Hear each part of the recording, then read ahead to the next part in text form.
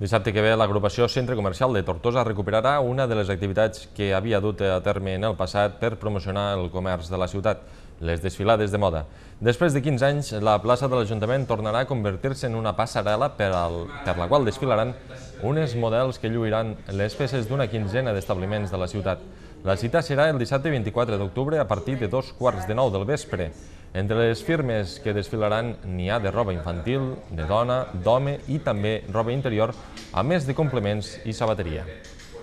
Serà una, mm, una activitat dinàmica,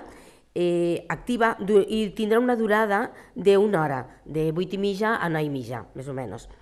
Amb aquesta desfilada participen també 14 establiments, on voldria fer menció en aquests establiments perquè d'entrada és la primera desfilada que fem després d'uns quants anys i són els que, bueno, en un principi pues, bueno, han apostat en seguida que els vam anar a visitar i vam tindre nosaltres la,